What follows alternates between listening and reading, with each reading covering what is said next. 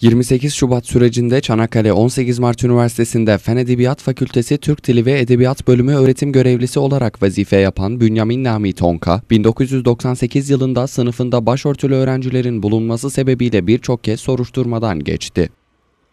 28 Şubat sürecinde üniversitede değişik soruşturmalara maruz kaldığını ve dönemin rektörlüğü tarafından da görevine son verildiğini dile getiren Tonka, kısa bir sürede Celal Bayar Üniversitesi'nde çalıştıktan sonra emekliye ayrıldığını söyleyerek ben senenin ilk dersinden son dersine kadar mutlaka ders yapardım. Hatta zaman zaman farklı saatlere dersler koymak suretiyle de öğrencilere daha fazla bilgi aktarmak için uğraşırdım dedi. Ee, o dönem içinde yani 98'deki 1998 yılında e, eğitim ve öğretim üniversitede başladığında bizim rektörümüze e, işte hayırlı olsuna diye basın mensupları geliyorlar ve diyorlar ki biz bir de bir sınıftan da bir görüntü alalım.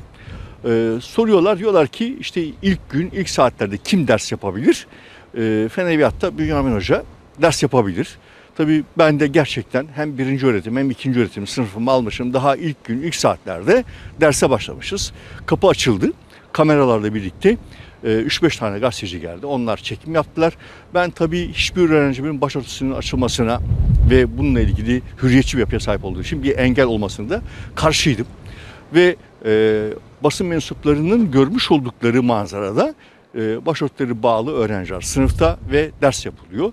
Bu o dönemin basınında çıkınca hemen akabinde e, rektörlük hakkında soruşturmalar açmaya başladı. En verimli dönemimizde bilim dünyasından koparılmış olduk. E, ceberut bir şekilde uygulanan bu uygulamaların şimdi geriye doğru baktığımız zaman çocukla bir iş olduğunu aslında daha hürriyetçi bir ortam içinde olmamız gerektiğini görmüş oluyoruz.